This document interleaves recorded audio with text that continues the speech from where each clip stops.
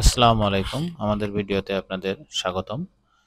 আজ আমরা একাদশ ও দ্বাদশ শ্রেণির তথ্য ও যোগাযোগ প্রযুক্তি বিষয়ের চট্টগ্রাম বোর্ড দু হাজার উনিশের তৃতীয় অধ্যায়ের দ্বিতীয় অংশ থেকে আসা যে প্রশ্নটি, চার নম্বর প্রশ্নটি আমরা আলোচনা করব। প্রথমে আমরা প্রশ্নটি পড়ব এবং পরে উত্তর নিয়ে আলোচনা করব। এখানে একটি চিত্র দেওয়া আছে। এটি একটি ফুল অ্যাডারের চিত্র। তো এই ফুল অ্যাডার চিত্র থেকে শতক সারণী আঁকাতে হবে এবং এর সমীকরণ বের করতে হবে। তাহলে চলুন আমরা প্রশ্নগুলো দেখে নিই। ইউনিভার্সাল গেট কি? কম্পিউটারের ভাষাকে মানুষের বোধগম্য ভাষায় রূপান্তরের সার্কিটটি ব্যাখ্যা করো। উদ্দীপকের বর্তনীটি মৌলিক গেট দিয়ে বাস্তবায়ন করো। মানে এখানে যে বর্তনীটি দেওয়া আছে, সেটিকে মৌলিক গেট দিয়ে বাস্তবায়ন করতে বলা হয়েছে। এখানে আগেই বলেছি, এটি ফুল অ্যাডারের চিত্র দেওয়া আছে। তাহলে ফুল অ্যাডারের শতক সারণী আঁকা আপনাকে আঁকিয়ে নিতে হবে। এরপর সেখান থেকে সমীকরণ বের করতে হবে। সেই সমীকরণ দিয়ে আপনাকে মৌলিক গেট দিয়ে বাস্তবায়ন করতে হবে। এরপরে বলেছে, উদ্দীপকের বর্তনীতে একটি ইনপুট সংখ্যা হ্রাস করলে নতুন যে বর্তনী পাওয়া যাবে, তাকে ন্যান গেট দ্বারা বাস্তবায়ন করে দেখাও। তাহলে এখানে তিনটি ইনপুট আছে। ইনপুট যদি দুইটি হয়, তাহলে কি আসবে?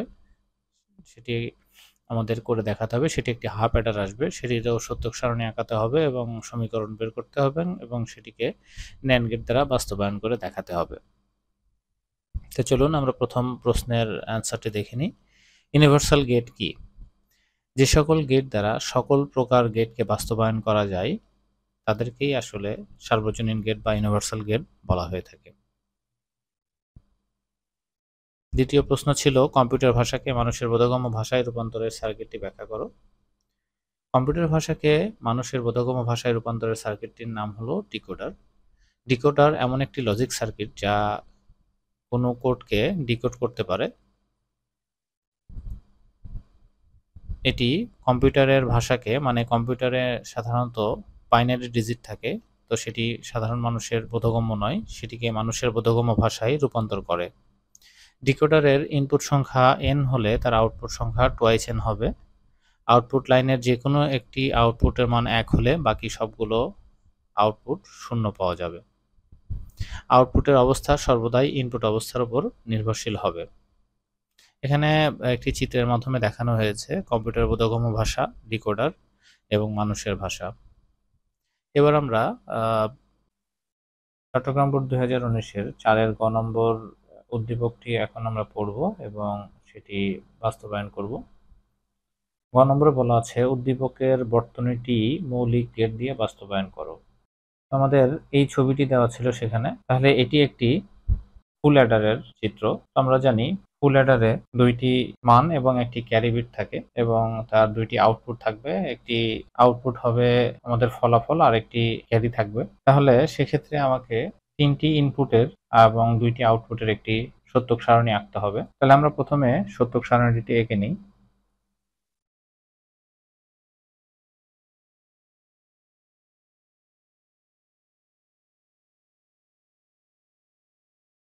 আমি এখানে প্রথমে লিখব ইনপুট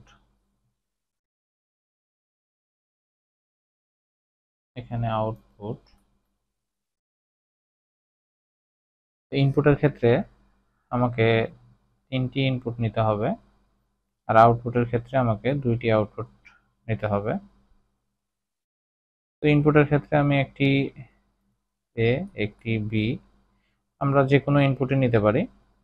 এবং একটি সি আই এটি হলো ক্যারি ইনপুট আর আমাদের আউটপুট আসবে দুইটি। একটি হলো আউটপুট সেটি হলো আমরা এস ধরতে পারি সাম মানে যোগ। যেহেতু ফুল লেটারের মাধ্যমে আমরা যোগের কাজটি করে থাকি।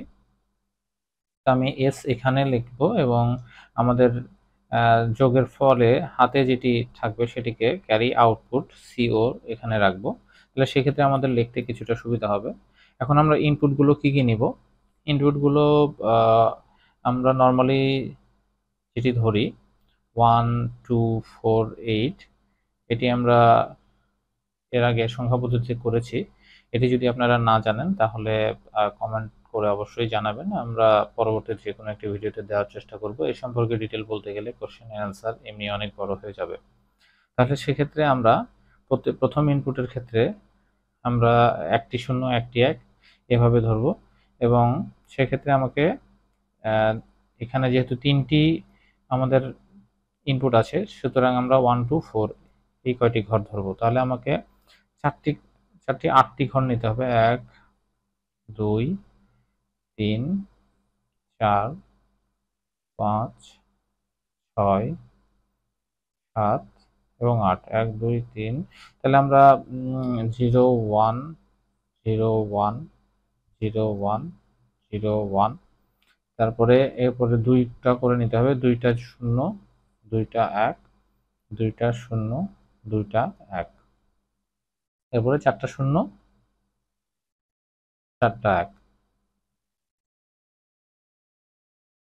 তো এগুলো এরপরে আমরা জাস্ট যোগ করে দিব কীভাবে আমরা যোগ করি। নর্মালি শূন্যের যোগ করলে যোগ ফল শূন্য হবে এবং হাতেও কিছু থাকবে না, সে কারণে সেটিও শূন্য হবে ক্যারি আউটপুটও শূন্য হবে। আমরা জানি একের সাথে শূন্য তিনটা, দুইটা শূন্য একের সাথে যোগ করলে তার ফল একই হবে এবং ক্যারি শূন্য হবে। এখানেও যেহেতু একটি এক আছে, দুইটি শূন্য, তাহলে আমাদের যোগফল এক ক্যারি শূন্য। এখানে দেখুন দুইটা এক রয়েছে। তাহলে সেক্ষেত্রে এক এক, দুই, দুইয়ের বাইনারি দশ।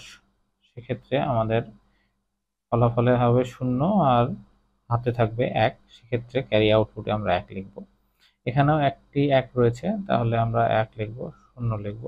এখানে দুইটি এক রয়েছে, তাহলে আমরা দশ লিখে দিব।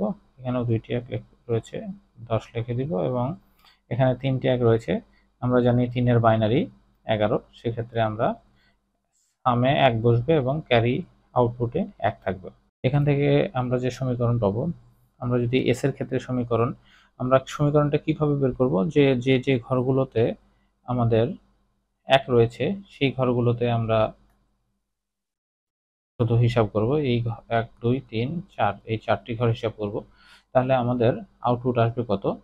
এস ইকাল টু আমরা লিখতে পারব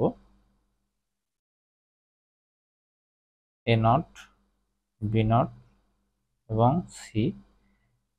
যেহেতু এখানে সির ঘরে ওয়ান রয়েছে, তাহলে যেগুলো নট যেগুলো শূন্য সেগুলোতে নট দিতে হবে, আর যেটিতে ওয়ান আছে সেটি স্বাভাবিক রাখতে হবে। এটি হয়তো আমরা জানি যদি না জেনে থাকি তাহলে আপনাদের যদি এই বিষয়ে ডিটেল জানার থাকে, অবশ্যই কমেন্ট করে জানাবেন, আমরা দেখিয়ে দেওয়ার চেষ্টা করব। এরপরে আমরা এখানে ওয়ান দেখুন এখানে A not B C not A not B C I not আবার প্লাস দেব। এখানে দেখুন এ বি এবং C I not A B not আছে এবং সি আই নট এরপরে প্লাস আছে। এখানে দেখুন এই ঘরটাতে তিনটি ঘরেই এক রয়েছে, তাহলে এ বি সি আই এখানে কোনো নট হবে না। এবার যদি আমরা সিও মানে ক্যারি আউটপুটের হিসাব করি, তাহলে এখানে দেখুন এই জায়গায় এক রয়েছে। তাহলে এখানে আমরা কি করব? A not B C I plus এই ঘরে এক রয়েছে। A B not C I A B not C I plus এই ঘরে এক রয়েছে। A B C I not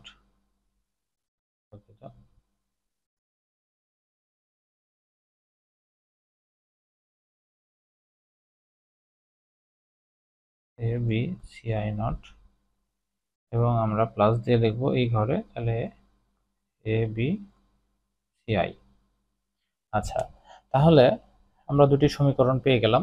এখন এই দুটি সমীকরণ আমাদের বলছে মৌলিক গেট দিয়ে বাস্তবায়ন করতে। তাহলে আমরা এখানে দেখা যাচ্ছে যে আমাদের এ বি সি আছে এবং A not B not C not আছে। তাহলে আমরা এখানে প্রথমে আগে এ নিয়ে নিব, এর জন্য একটি লাইন টেনে নিব। এরপরে আমরা এখানে এ নট বানিয়ে নেব, যেহেতু মৌলিক গেট নট এখানে একটি গোল দিতে হবে। এটার জন্য একটা লাইন টেনে নেব, এটি আমরা লিখব এ নট এরপরে আমরা বির জন্য একটি লাইন টেনে নেব। এরপরে আমরা এখানে বি নট বানিয়ে নিব। এটিকে আমি লিখব বি নট। এবার আমরা সি দিব। এবং আমরা এখানে সি নট বানিয়ে নেব। এটি কিন্তু নটের গেট আমি এখানে যেটি দিয়েছি। আচ্ছা এবার আমরা প্রথমে এস এর ক্ষেত্রে এসটা করব A not B not C তাহলে আমাকে এ নট থেকে একটি টান টানতে হবে।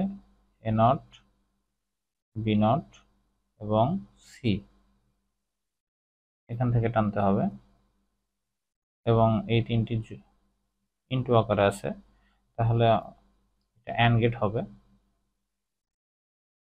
আচ্ছা এরপরে রয়েছে A not B C not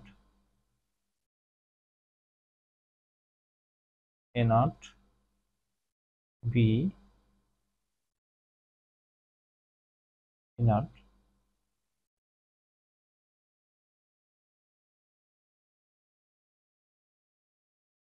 তারপর রয়েছে A B not C not A থেকে টানবো আমরা।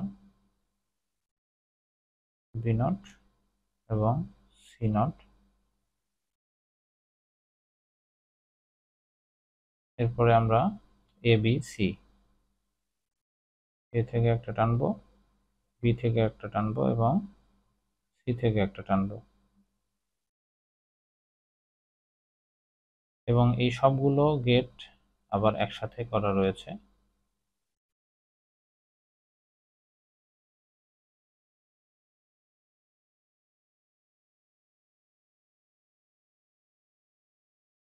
এটি রয়েছে একটি অর গেটের মাধ্যমে। যেহেতু যোগ রয়েছে, তাহলে এটি একটি অর গেটের মধ্য দিয়ে যাবে। তাহলে প্রত্যেকটি জায়গায় আমরা এটি লিখে দিতে পারি, কোনটা কি আসলো। এটি এস এর সমীকরণ আসলো। এখন আমরা অনুরূপভাবে সির সমীকরণটি আঁকাতে পারব। আমরা তাহলে এখানে আঁকিয়ে ফেলি। এখানে আমার নিচে জায়গা থাকলে আমরা করে ফেলতে পারতাম বাট এখানে জায়গা নেই। আমি জাস্ট এই জায়গায় করে দিচ্ছি। আপনারা কিন্তু একটিতেই করতে পারবেন। আমার এখানে জায়গা না থাকার কারণে আমি এখানে পাশে করছি।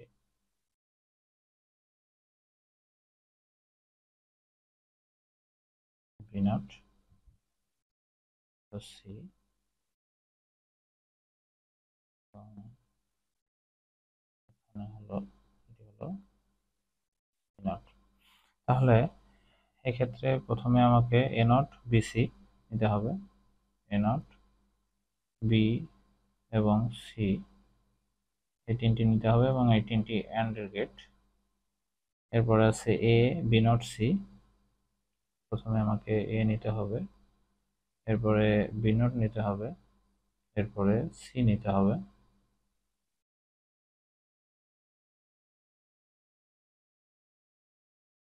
এরপরে এ বি সি নট আছে। তাহলে আমাকে এ নিতে হবে। বি নিতে হবে এবং সি নট নিতে হবে। এরপরে রয়েছে এবিসি তাহলে আমাকে এ নিতে হবে। বি নিতে হবে এবং সিও নিতে হবে। এটিও অ্যান্ড গেট এবং এই গেটগুলোকে আমরা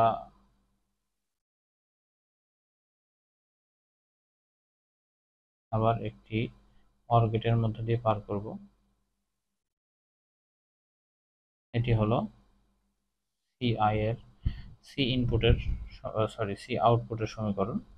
আমরা এখানে এস দিয়ে সমীকরণটি লিখে দেব এবং সি দিয়েও সমীকরণটি লিখে দেব। এখানে জায়গা না থাকার কারণে আমি লিখলাম না। তো আশা করি আপনারা বুঝতে পেরেছেন। আপনাদের এইটি করতে বলেছে। একটি শতক সারণী আঁকাতে হবে। ফুল লেটারের সেটির সমীকরণটি বের করতে হবে এবং মৌলিক গেট দিয়ে সেটি আঁকাতে বলেছে। আশা করি অ্যান্সারটি বুঝতে পেরেছেন। চট্টগ্রাম বোর্ড দুই হাজার উনিশের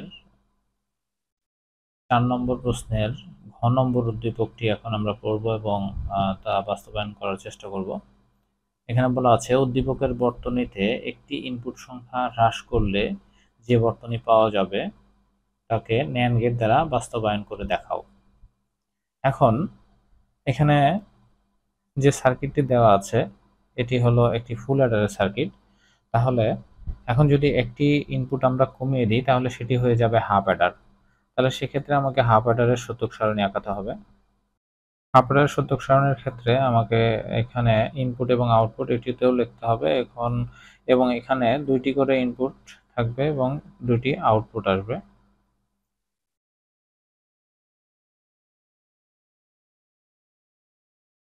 তাহলে এখানে আমি প্রথমে উপরে লিখব ইনপুট এখানে লিখব আউটপুট এখানে এ এবং বি এবং দুটির সংখ্যার যোগ করলে একটি আসবে সাম আর একটি আসবে ক্যারি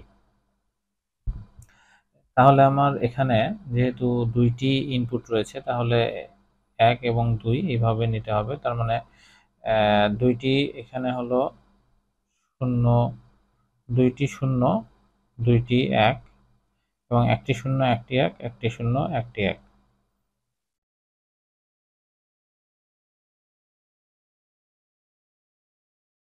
এখন আমরা শূন্য শূন্য যোগ করলে জানি শূন্য, এবং ক্যারি শূন্য হবে। শূন্য এক যোগ করলে এক, ক্যারি শূন্য হবে।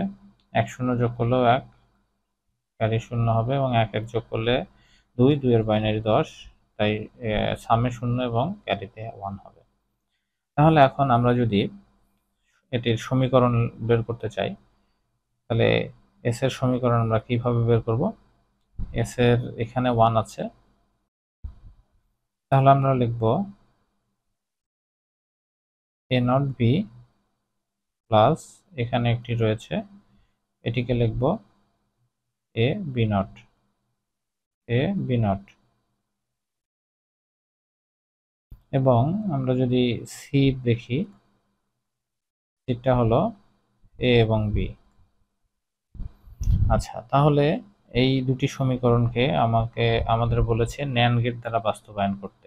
তাহলে ন্যান গেট দ্বারা বাস্তবায়ন করতে হলে সিটা আমরা সরাসরি করতে পারব। আমরা জানি ন্যান গেট একটি যৌক্তিক গুণের গেট এবং যৌক্তিক গুণের সাথে নট গেট যুক্ত রয়েছে, এটি একটি সার্বজনীন গেট তাহলে আমাকে এস এর যে ফাংশনটা, সেটাকে ন্যান গেট দিয়ে বাস্তবায়ন করার মতো করে তৈরি করে নিতে হবে। তারপরে আমরা ন্যান গেট দিয়ে করতে পারব। তাহলে আমরা এস সমান সমান, আমাদের এসেছে A not B plus A B not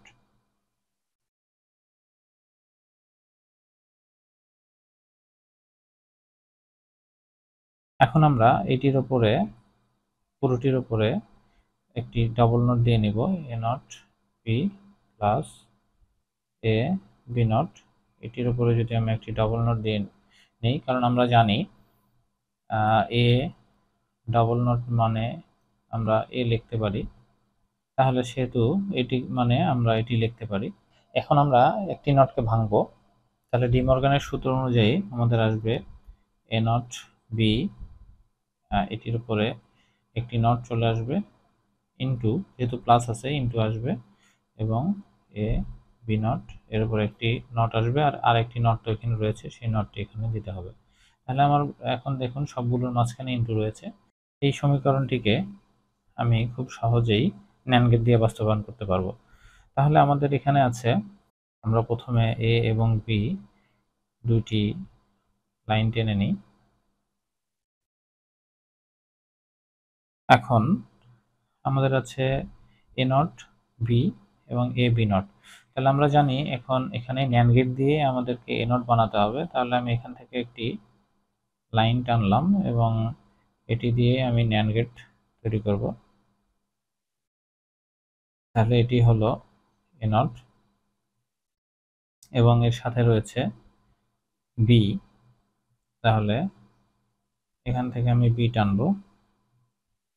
তাহলে এটি আবার গুণ এর উপর আবার নট রয়েছে। তাহলে এটি আবার একটি ন্যান গেটের মধ্যে দিয়ে পার করা হবে।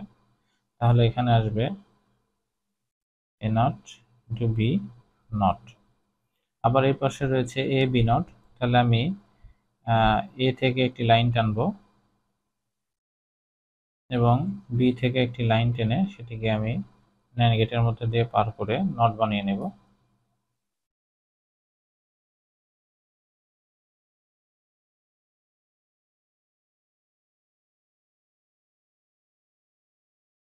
এটি হলো ভি নট এটি ছিল বি এটি এ এখন এটিকে যদি আমি আবার একটি ন্যান গেটের মধ্য দিয়ে পার করি, তাহলে ওটা হয়ে যাবে এ পি নট নট এখন এই দুটিকে যদি আমি আবার একটি ন্যান গেটের মাধ্যমে মধ্য দিয়ে পার করি, তাহলে সেক্ষেত্রে চলে আসবে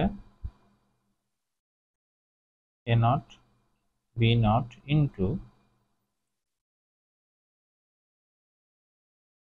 A B not not আর এর উপরে আরেকটি, এই যে নটের কারণে একটি নট চলে আসবে। এরপরে আমরা এটি এস এর সমীকরণ আসলো আমাদের। এস সমান সমান আমরা এটি লিখে দেব। সির যে সার্কিট এবার আমরা সির যে সার্কিট রয়েছে সেটি আঁকাবো। সিতে রয়েছে এ এবং বি সির সমীকরণটিও একটু আমাকে, আমাদের প্রসেস করে নিতে হবে। এটার উপরেও ডবল নোট দিতে হবে। এটিকে আমি ভাঙবো না। তাহলে সি থেকে আমি এ থেকে এবং বি থেকে একটি টানব। এ, বি নট।